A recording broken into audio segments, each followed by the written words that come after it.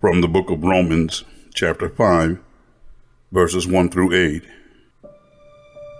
Therefore, since we are justified by faith, we have peace with God through our Lord Jesus Christ, through whom we have obtained access to his grace, in which we stand, and we boast in our hope of sharing the glory of God.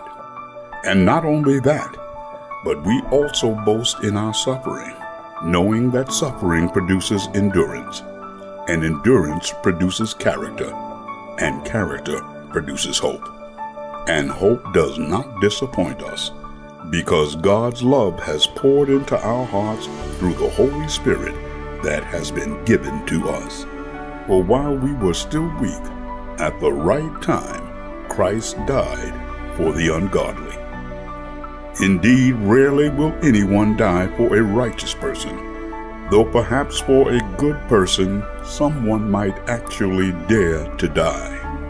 But God proves his love to us, in that while we were still sinners, Christ died for us.